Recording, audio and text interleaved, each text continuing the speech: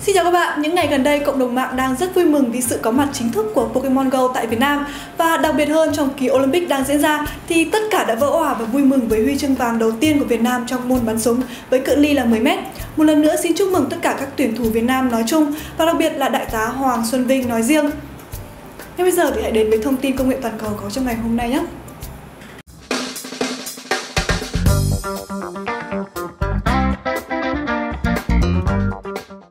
Một nguồn tin tại Việt Nam mới đây đã có những tiết lộ chính thức về cấu hình cũng như là thiết kế về những chiếc smartphone chiến lược tiếp theo của Sony. Cụ thể vào thời gian tới, công ty Nhật Bản sẽ tiếp tục tung ra hai smartphone mang tên là Xperia XR và Xperia XZ. Trong đó thì Xperia XR chỉ có vẻ ngang hàng với chiếc Xperia X hiện nay, còn Xperia XZ sẽ cao cấp nhất, tương đương với Xperia X Performance.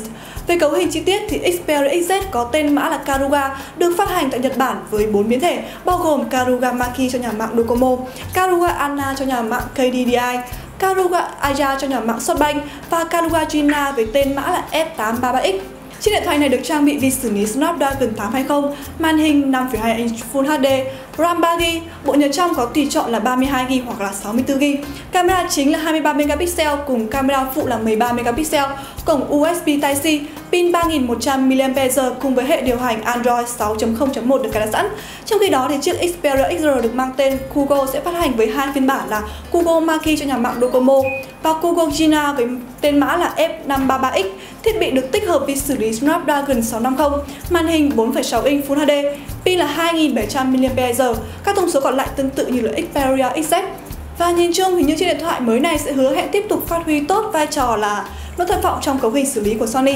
Ngoại trừ điểm mới mẻ về thiết kế và cổng kết nối như các hình ảnh render từ OLED mà các bạn đang xem, thì dự kiến Sony sẽ trình làng bộ đôi smartphone mới này tại sự kiện riêng của họ tại triển lãm IFA 2016 sắp tới. Hệ thống AI của siêu máy tính IBM Watson đang ngày càng chứng tỏ mình là một trợ thủ đắc lực cho con người. Sau chiến thắng gần đây tại cuộc thi nấu ăn tại Joe Jeopardy, IBM Watson còn được vinh danh bởi đã cứu sống được một mạng người. Theo đó, các bác sĩ tại Đại học Tokyo đã sử dụng AI của nó để chẩn đoán lại căn bệnh ung thư bạch cầu dạng hiếm cho một phụ nữ khoảng 60 tuổi do những chẩn đoán sai lầm ở lần khám trước đó.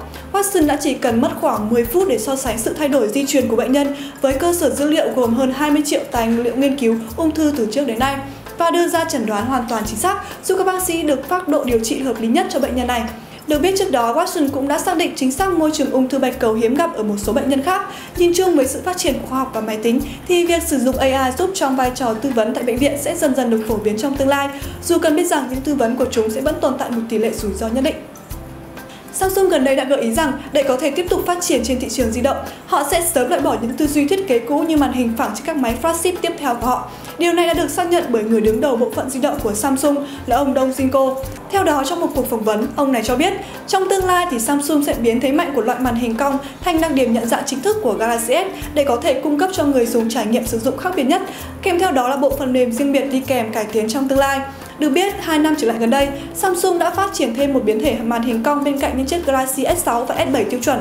Nhưng có một sự thật là những chiếc Galaxy S Edge tăng phổ biến hơn nhiều với những chiếc Galaxy S tiêu chuẩn. Có vẻ như sự hưởng ứng từ người dùng đã thúc đẩy Samsung đưa ra quyết định trên, như chiếc Note 7 vừa ra mắt là một ví dụ.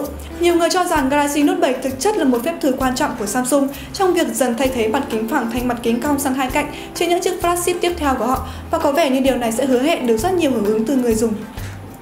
Một báo cáo mới đã công bố chỉ ra một điều khá thú vị về thói quen sử dụng Twitter của ông Donald Trump, ứng viên tổng thống của Đảng Cộng hòa Mỹ.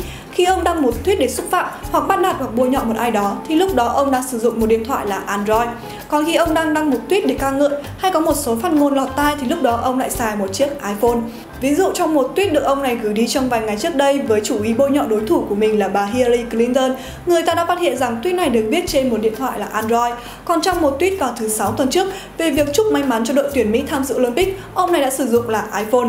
Điều này đã biến thành một trò cười trong cộng đồng mạng tại Mỹ và cho rằng Trump là một kẻ đa nhân cách. Tuy nhiên có một số ý kiến khác lại bênh vực ông già hói tóc bạch kim này, mà theo họ thì chiếc iPhone được dùng để đăng những lời lọt lỗ tai kia là thuộc một người quản lý chiến dịch tranh cử của ông ta. Do đó, việc sử dụng hình ảnh của Trump để nói những lời có cánh là hoàn toàn dễ hiểu. Được biết thì trước đây Donald Trump cũng từng tuyên bố rằng đã ném chiếc iPhone của mình vào sọt rác sau khi biết Apple không chịu hợp tác với FBI trong việc mở khóa chiếc iPhone 5C của một nghi phạm giết người. Và những tin tức vừa rồi cũng thay cho lời kết của Masterly có trong ngày hôm nay. Cảm ơn các bạn đã quan tâm theo dõi. Xin chào và hẹn gặp lại.